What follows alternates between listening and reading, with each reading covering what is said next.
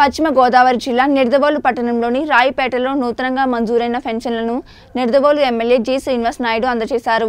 నియోజకవర్గంలో కొత్తగా పదిహేను వందల ఇరవై ఒకటి పెన్షన్లు మంజూరయ్యాయని అలాగే నియోజకవర్గం మొత్తం మీద ప్రతి నెల ముప్పై నాలుగు వేల లబ్ధిదారులకు పెన్షన్ అందుతుందన్నారు.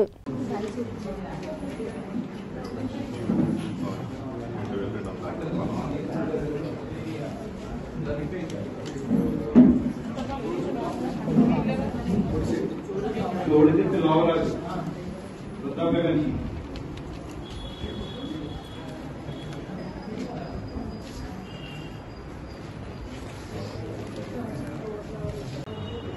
ఎంతో బాధలో ఒంటరి పట్ల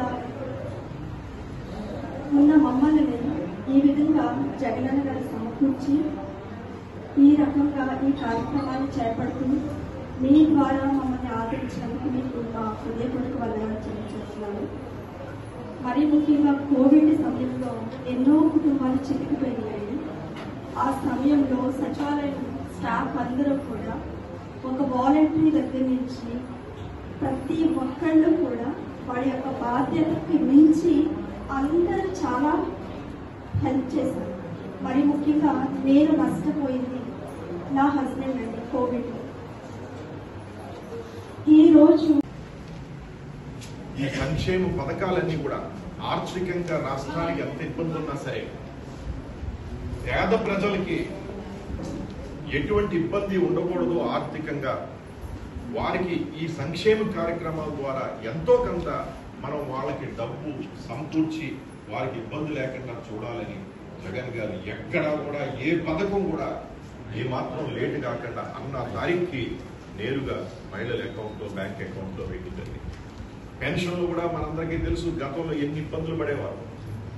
అలా లేకుండా ఈ రోజంటే మొదటిసారిగా ఇస్తున్నాం. మీకు అన్ని విషయాలన్నీ తెలియాలని ఈరోజు మనం ఇక్కడ కార్యక్రమం పెట్టడం జరిగింది. మరి వచ్చే నెల నుంచి అందరికీ ఇప్పుడు ఇచ్చేదట్టే అందరికీ ఇచ్చేదట్టే ఇంటింటికి వచ్చి మన వాలంటీర్లు ఆరు గంటలకి అందరినీ ఉదయం మరి తలుపు తట్టి లేపి మరి ఈరోజు పెన్షన్ చేతిలో పెట్టడం జరుగుతుంది. నిజంగా చాలా పెద్ద మహోత్సవాల కార్యక్రమం ఇదంతా కూడా. ఈరోజు అదే కాకుండా గతంలో ఓల్డ్ ఏజ్ పెన్షన్ వృద్ధాప్య పెన్షన్ అంటే అరవై ఐదు సంవత్సరాలు నిండితే కానీ వచ్చేది కాదు.